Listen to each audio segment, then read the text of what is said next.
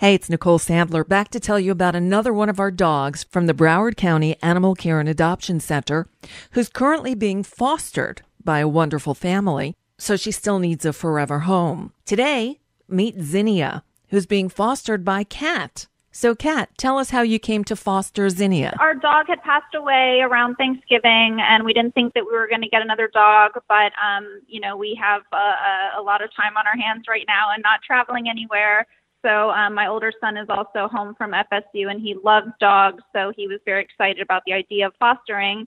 And um, you know, she's fit in very well with the family, and it's been so nice having a dog in the house. What's she like? I mean, she's an older dog, right? How has that worked out for you?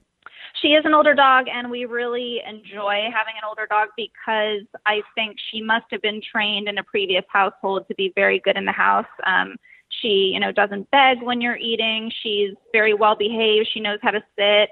Um, she's very cuddly. So, um, yeah, she, um, I think she must have been trained before, and and just being older, she's very, um, you know, chill when she's in the house. She was always one of the volunteer favorites. She went on Lunch Buddies a lot, a program we mm-hmm. have at the shelter where dogs go out to lunch or out on the town with a volunteer to meet people. So, but you're fostering, so the, the intent is to find her a forever home.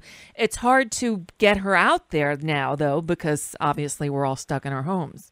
Yes. So um, what I was doing was I was posting about her on my social media, and actually already had interest from a friend that um, you know she she isn't allowed to have a dog right now in her current place, but she's in the process of moving. So we're hoping within the next month or two that she'll be in her new place that allows dogs, and hopefully we'll be able to take her, and that might work out perfectly because um, you know the end of the the fostering period would come along. So hopefully it'll, you know, the timing will be perfect and Vinny will have a new home. That would work out great. You guys aren't in the market for having a forever dog in your house or you just can't swing it with work and everything? Yeah, no, not not usually. My husband and I travel a lot for work and we like to go out of town a lot. It was just really ideal right now because my older son is home from school and he you know, walks her, you know, at least three times a day and takes her for long walks. And so he's able to be here. But when he goes back to school at FSU eventually, um, you know, we, we just felt like it's probably better that we um, do more borrowing and fostering than owning.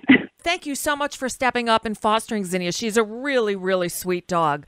Like I said, the volunteers. She is super sweet. She's very cuddly and well behaved. My husband loves her. The kids really enjoy having her here. And um, you know, for an older dog, she has a lot of energy still for walks. So um, you know, she's very agile. She can you know jump and run, and she has a lot of energy outside the house. But inside the house, she's very chill. So she's a really good mix. Zinnia's ID number is A two zero four one five three four. For more information on Zinnia or any of the other animals at Broward County Animal Care and Adoption, visit the website at broward.org slash animal slash adoptions or call 954 359 1313.